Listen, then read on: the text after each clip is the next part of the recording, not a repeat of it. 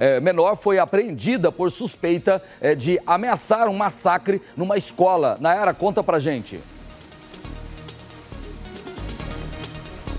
Pois é, o Loares, ele causou um pânico enorme, viu, ali na região do Jardim Tiradentes, tanto que ele não disse qual seria a escola, criou um perfil aí numa rede social, fez essas ameaças e os pais proibiram os filhos de irem à escola, os pais ali da região com medo, né? Já que ele não dizia ali qualquer escola, mas a polícia agiu bem rápido, viu, Loares? Em menos de 24 horas encontrou esse perfil, encontrou quem era o dono de um perfil e era um jovem de apenas 15 anos que foi apreendido. Eu vou conversar mais agora com o delegado João Paulo Mendes, que vai falar como que foi essa ação, como que a polícia conseguiu chegar até esse menor, até porque essa ameaça que ele fez, esse perfil perfil falso que ele criou causou um pânico danado, né, delegado? Boa tarde.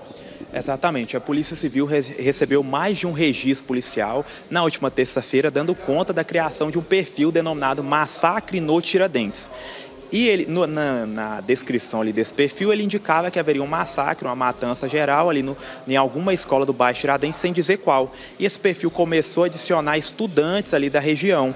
Isso logo né, difundiu essa informação, essa informação chegou aos pais que, aterrorizados, com medo, né, temendo que seus filhos sofressem algum tipo de atentado, proibiram que eles frequentassem as aulas regulares da escola. Quando a Polícia Civil foi cientificada, de imediato iniciaram suas investigações, a gente adotou ações de inteligência e rapidamente, em menos de 24 horas, a gente localizou e identificou o indivíduo que criou esse perfil falso. Em verdade, se tratava de um menor de idade, com 15 anos, que estava ali insatisfeito por ter pedido transferência da escola que ele estudava ali na região Tiradentes, porque ele tinha nutrido desavenças e desafetos nessa escola.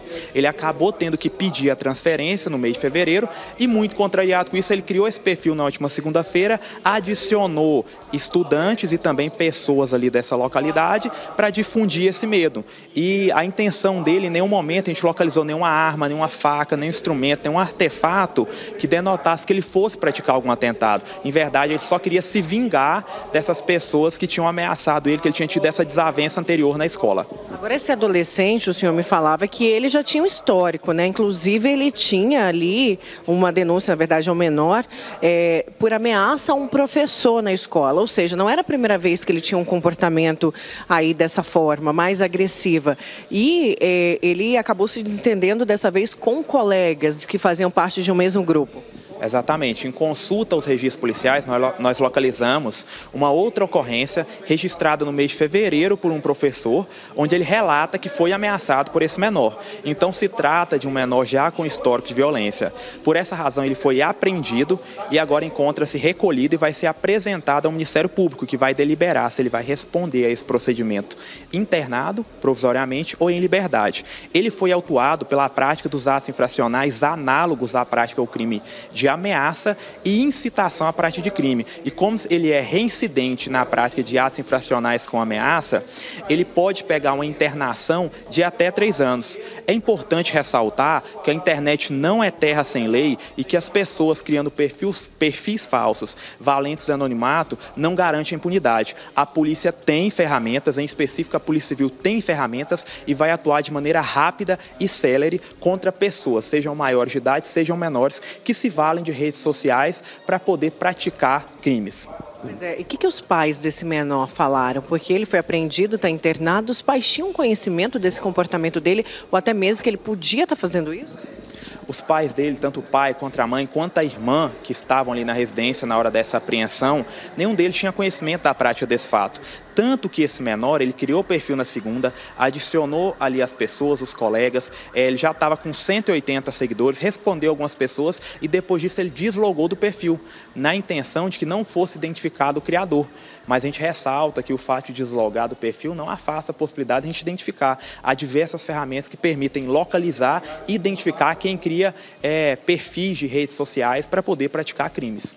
Delegado, muito obrigado pelas suas informações, um ótimo dia. Pois é, o Lores, como o delegado falou, né? Internet não é terra sem lei. A polícia conseguiu chegar até esse adolescente rapidamente, lembrando, né, que é o Brasil, em menos de 10 anos, tem um histórico de oito massacres em escolas, incluindo Goiânia.